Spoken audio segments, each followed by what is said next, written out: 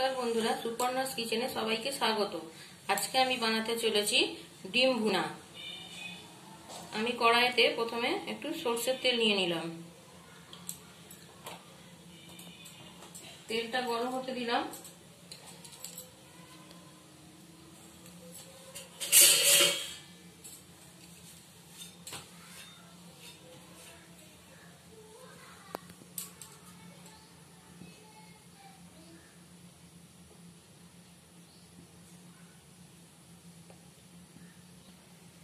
আমার এখানে তেলটা গরম হচ্ছে, আমি ডিম ভুনা বানানোর জন্য যা যা নিয়ে, উপকরণ নিয়েছি সেগুলো একটু দেখে নিন। এখানে আমি দিয়ে, নিয়েছি প্রায় আট দশটা ছোট সাইজের আলু, টুকরো টুকরো করে। আর নিয়েছি দশ বারোটা কোয়া রসুন বাটা, আদা বাটা, একটা টমেটো কুচি, একটা পেঁয়াজ কুচি, আর দুটো লাল কাঁচা লঙ্কা কুচো করা। এর মধ্যে নেওয়া আছে এক স্পুন জিরে গুঁড়ো, এক স্পুন ধনে গুঁড়ো, আর হাফ টিস্পুন কাশ্মীরি লঙ্কার গুঁড়ো আর হাফ টিস্পুন হলুদ গুঁড়ো একসঙ্গে আমি এটা জলেতে পেস্ট করে রেখেছি।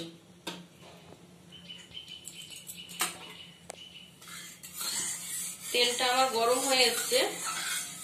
আপনারা দেখতেই পাচ্ছেন।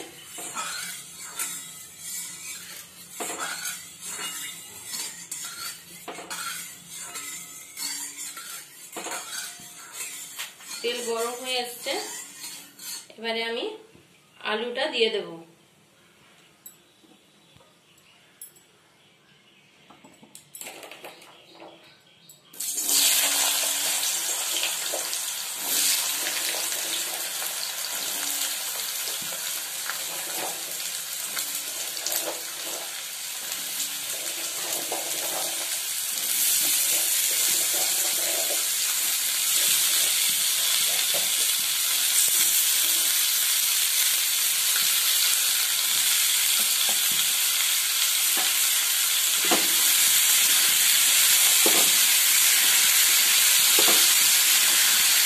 আমি আলুটা একটু নেড়ে ছেড়ে দিচ্ছি।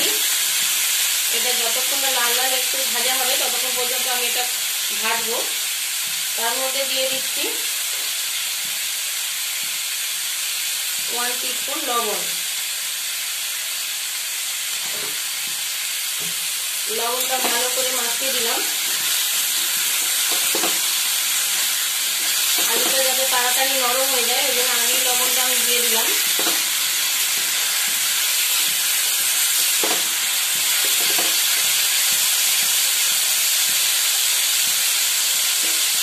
এরপর আমি একটু দিয়ে দেব। আর আমার ডিম ভুনা করতে তিন পিস ডিম লাগবে। দেখুন, আমার আলুটা ভাজা হয়ে গেছে। আমি এবারে এটা একটা পাত্রে তুলে রাখছি। এইভাবে সাইড করে করে আলুগুলোকে তুলে নেবেন।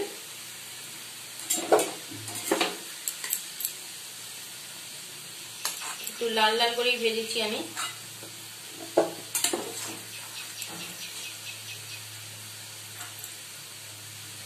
এতে আমি তিনটে ডিম ইউজ করব। যেহেতু আমি বড় সাইজের একটু ডিমটা নিয়েছি, তাই আমি তিনটে ডিম দেবো। যদি ছোট হয়, আপনারা চারটেও দিতে পারেন। আমি ডিমটা আপনাদের দেখিয়ে নিচ্ছি, আলুটা তুলে।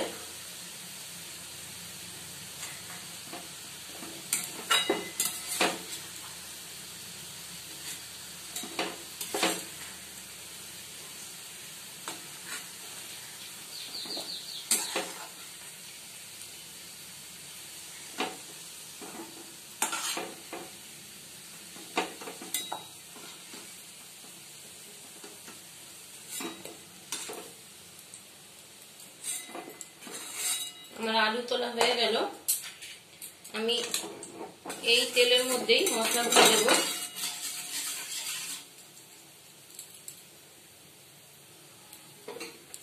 এই যে আমি তিনটে ডিম নিয়েছি, দেখতেই পাচ্ছেন বড় বড় সাইজের, ছোট হলে চারটে নেবেন। আমি এই তেলের মধ্যেই একে একে রসুন বাটা দিয়ে একটু নেড়ে চেড়ে নিচ্ছি। যাতে কাঁচা গন্ধটা চলে যায়। রসুনটা ভেজে দিলে খুবই খারাপ হয় খাবারে। কাঁচাটা হালখানি গন্ধ ছাড়ে।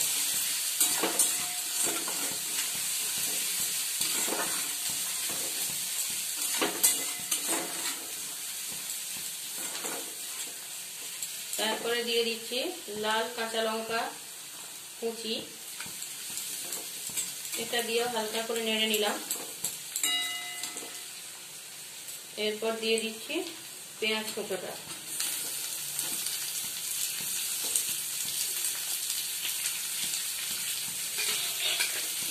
এবারে আমি পেঁয়াজটা ভাজতে থাকব।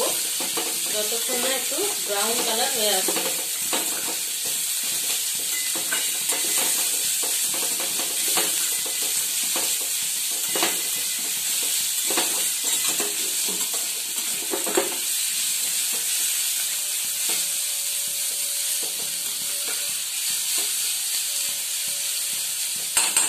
আমার পেঁয়াজটা একটু ব্রাউন ব্রাউন কালারের হয়ে এসছে এরপর আমি দিয়ে দিচ্ছি টমেটো কুচি। এটাও একটু নেড়ে চেড়ে নরম করে নেব। যাতে প্রত্যেকটা জিনিস খুবই ভালোভাবে মিশে যায়।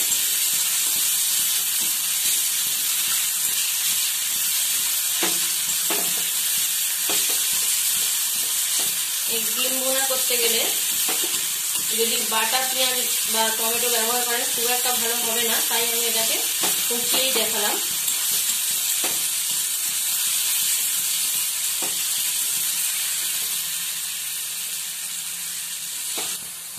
আমার টমেটোটাও দেখুন নরম হয়ে গেছে।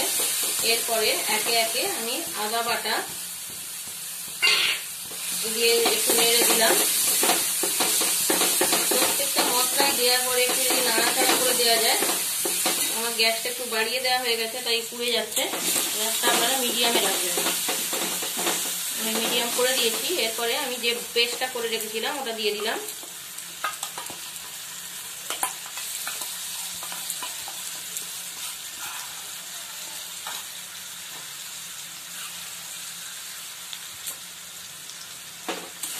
মশলাটা একটু নাড়াচাড়া করে নিচ্ছি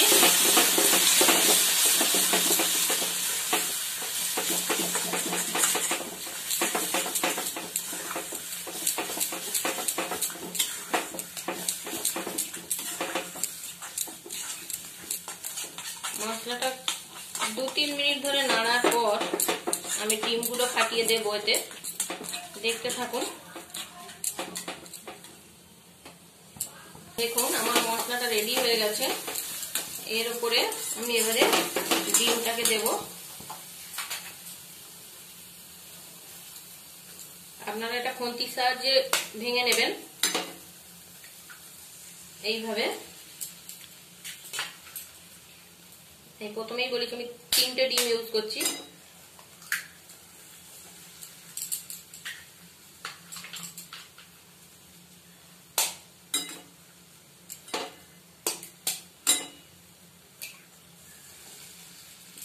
ডিম তিনটে এইভাবে ফাটিয়ে দেবেন, দিয়ে ভালো করে গ্যাসটাকে একটু বাড়িয়ে দিয়ে ভালো করে ভাজা ভাজা করবেন যতক্ষণ না এটা ছেড়ে যাচ্ছে।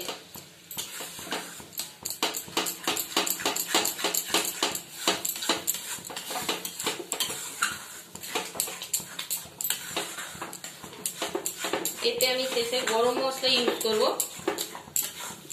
আর অল্প করে ধনে পাতা উপর থেকে কুচিয়ে দিয়ে দেব।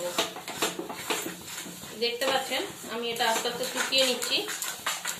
সমানে এটা নাড়তে হবে, নয়তো কিন্তু তলায় লেগে যাবে। এটা যত নাড়বেন, তত শুকিয়ে আসবে, তত এটা স্বাদও বাড়বে।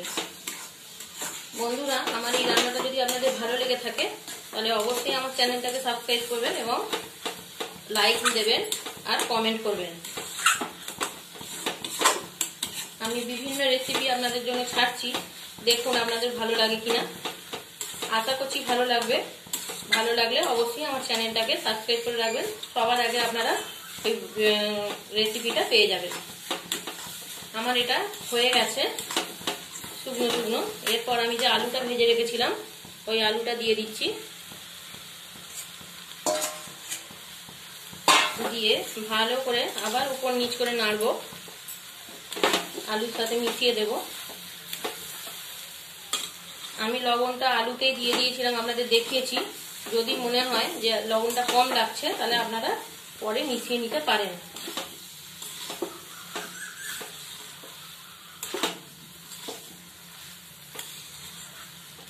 দেখুন, আমি আলুর সাথে ভালো করে এটাকে মিশিয়ে দিচ্ছি। সুন্দর ঝুড়ো ঝুড়ো মতো হয়ে গেল। এটাকে আমি অল্প জলে অল্প জল দেব, দিয়ে এটাকে একটু আমি স্টিমে রাখব। যদি আলুটা ভাজার সময় সেদ্ধ হয়ে যায়, দেখুন আমার আলু ভাজার সময় সেদ্ধ হয়ে গেছে, তাহলে আমার অল্প জল দিলেই হয়ে যাবে। আর যদি আলুটা ভাজার সময় সেদ্ধ না হয়, তাহলে একটু বেশি জল লাগবে। আমার এটা রেডি হয়ে গেছে প্রায়। আমি তো একটু জল দিয়ে এটাকে, আমি যে মশলাটা তৈরি করে রেখেছিলাম, সেই বাটি ধোয়া জলটা আমি দিয়ে দেব।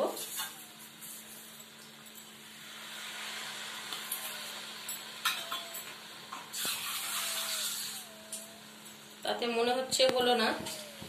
তাই আরেকটু আমি জল অ্যাড করছি।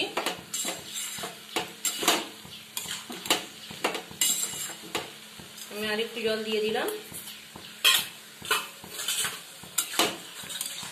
পাঁচ মিনিট আমি এটা স্টিমে দেব। পাঁচ মিনিটের মধ্যেই এটা টোটালি তৈরি হয়ে যাবে। আর বন্ধুরা, যদি মনে করেন এতে মিষ্টি ইউজ করবেন, তাহলে আপনারা মিষ্টি ইউজ করতে পারেন। আমি এখন এটা দমে রাখছি। দেখুন, আমার এটা হয়ে এসছে। শুকনো শুকনো। একদম শুকনো শুকনো হয়ে আসছে, দেখুন। এই জিনিসটা রুটি, ভাত, লুচি, পরোটা প্রত্যেকের সাথেই খাওয়া যায়, ভালোই লাগে খেতে। আমি ঘরে করে আগে খেয়েছি বা আমার বাচ্চারা এগুলো খুবই পছন্দ করে। দেখুন, কত সুন্দর দেখতে হয়ে গেল।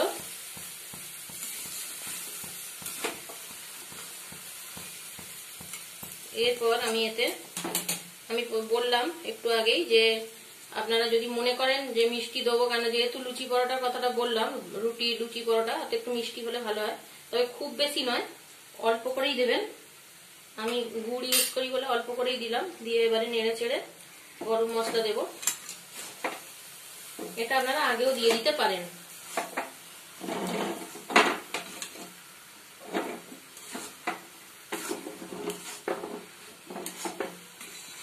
দেখতেই পাচ্ছেন কতটা শুকিয়ে নিচ্ছি আমি এটাকে। যেটা যত শুকনো হবে তত ভালো হবে।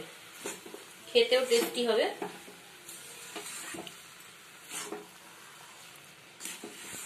আমার রান্নাগুলো যদি আপনাদের ভালো লেগে থাকে, আপনারা শেয়ার করবেন যাতে আরও অন্যান্য লোকেদের কাছে এই রান্নাগুলো পৌঁছে যায়। আমার এটা পুরো রেডি হয়ে গেছে। আমি গরম মশলা আর ধনে পাতা অল্প দিয়ে নাবিয়ে দেব।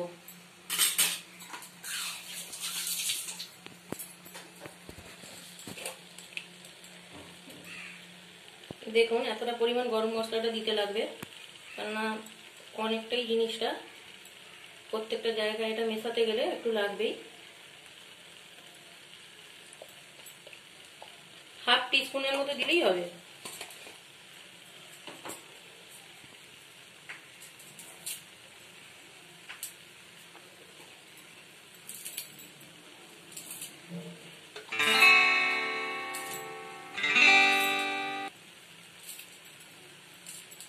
অল্প একটু ধনে পাতা উপর থেকে ছড়িয়ে দেবেন, এইভাবে।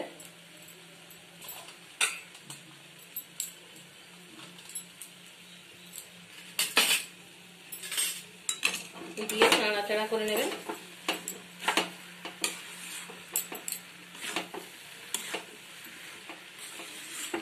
আমি যেভাবে নাড়ছি, সেইভাবে ওপর নিচ করে সমস্ত জায়গাটার মধ্যে এটা মিশিয়ে নেবেন। আমার এটা তৈরি হয়ে গেছে। আপনাদের যদি ভালো লাগে, অবশ্যই সাবস্ক্রাইব করবেন লাইক মারবেন। ধন্যবাদ।